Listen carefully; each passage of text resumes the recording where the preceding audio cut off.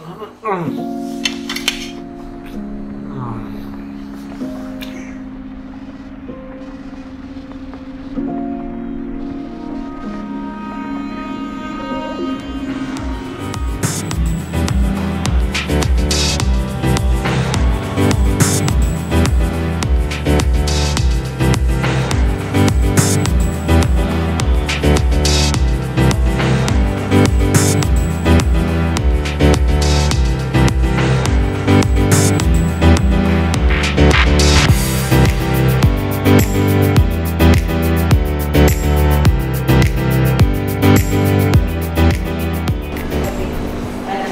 Velkommen til Press TV.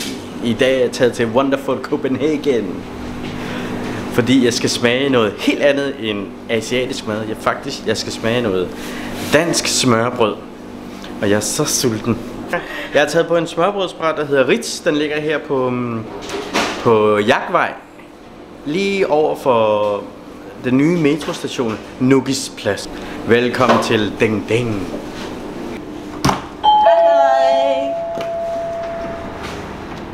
Hello. Så er du. Hej. Jeg, jeg hørte, at I har, I er det første restaurant her i København som smørbrød. Ja, det Som er... filippinske rest- altså, det er fra Filippinerne, ikke? så Jo. Er det første heroppe, så det er faktisk en dejlig rar at besøge jer. Ja, og det er rigtigt, det er det der første filippinske smørbrødsforretning Ja. i Danmark, Mm-hmm. i København. Og så vi laver også nogle, uh, for eksempel kalvaliver og hakkebøf Ja. og fiskefilet og fiskefilet med paneret salt. Mm. Og det kom hjem fra, fra Gillalej og meget frisk, og så vi panerer det. ja. Så ja, Men øh, hvad er det for noget, vi har herovre? Det er sådan nogle, er det specielt?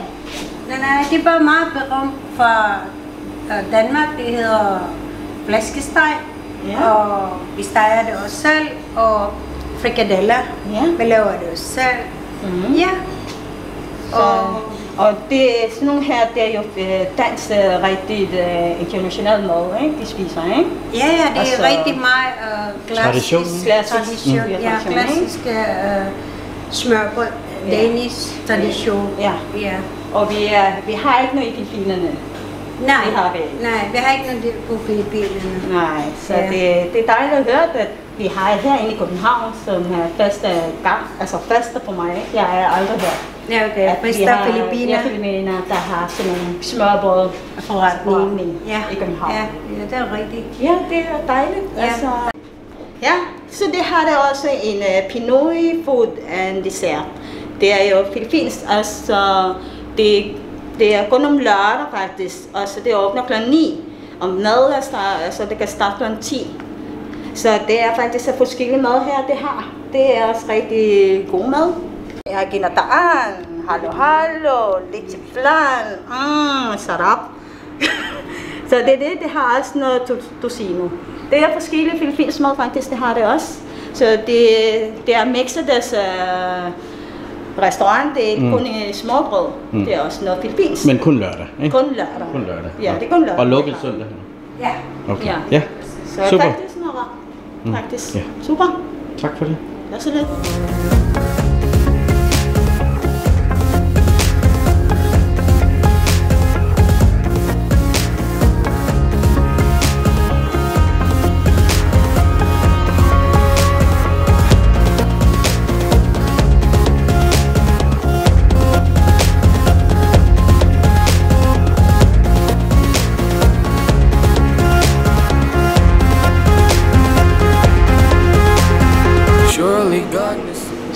Så noget filippinsk smørbrød.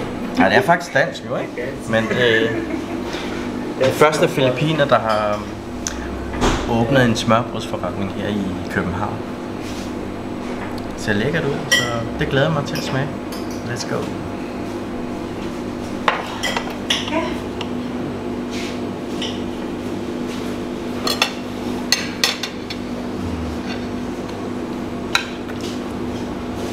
Så så jeg smager min øh, smørbrød. Mm. Jeg har valgt øh, med røsby, og så en fiskefilet. Så skal mm. vi smage, og det er rigtig, rigtig god. Mm. Okay? Ja, så værsgo. Mm,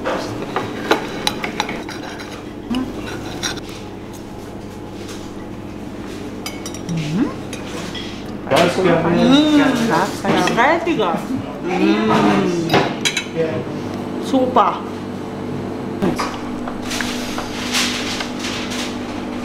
Flæskesteg med råbrød og rødkål. Mm. Jeg elsker det. Jeg elsker dansk smørbrød.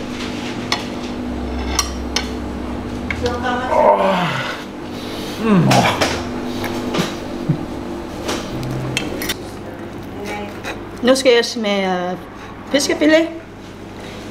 Så. Og mere remoulade for, og så mistron. Mm, det smager rigtig godt faktisk. Det er meget frisk. Hjemmelavet. Mm, sarap yung isda na små brød. Di ba? Så skal jeg have noget hakkebøf her. Mm. Hakkebøf, bløde løg. Rigtig dansk. Og så lidt... Øh, hvad hedder den her nu? Rødbede på. ja. Jeg kan ikke engang huske det rødbede, så sulten er jeg. Undskyld.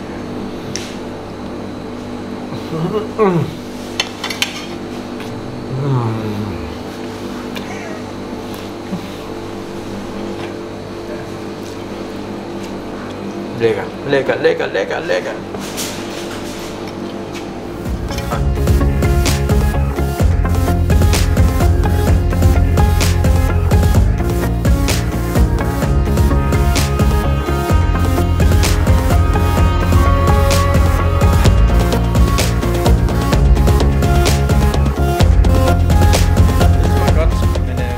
Jeg vil gerne sige tak til øhm, Ritz.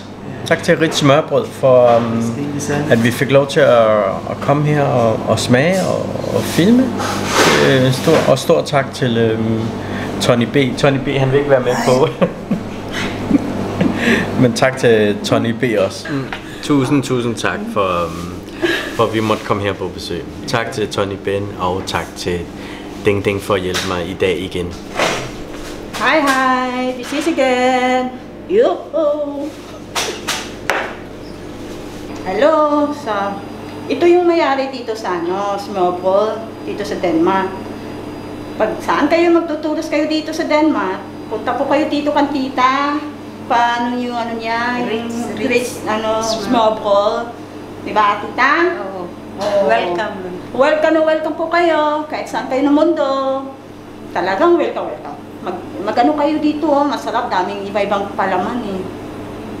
Okay? Okay. See you. Yeah. Thank you, tita. Thank you, din. Bye-bye. Bye-bye. For mad. Det var dejligt med småbrød faktisk, jeg har smag. Velkommen. Ja, det er dejligt. Og så det er faktisk det, er det bedste betaler, så jeg går min vej. Hej.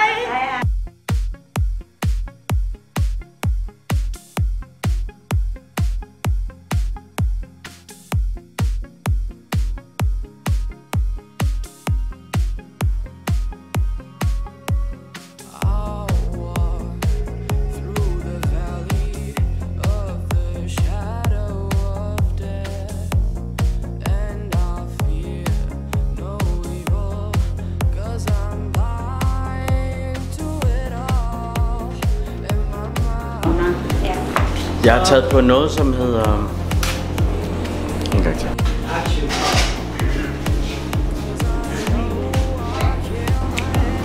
Så blev færdig her på The Rich. Only for rich people. Pagkain. 3, 2, 1, værsgo. Tita, pabili nga po ng ano, yung chicharon mo to, yung Danish chicharon. Ah, okay. Okay, thank you. Thank you din. Gusto ko magawa ng munggo. Isama ko siya sa munggo. Gagawa ko ng mamayang gabi. Yuhuu!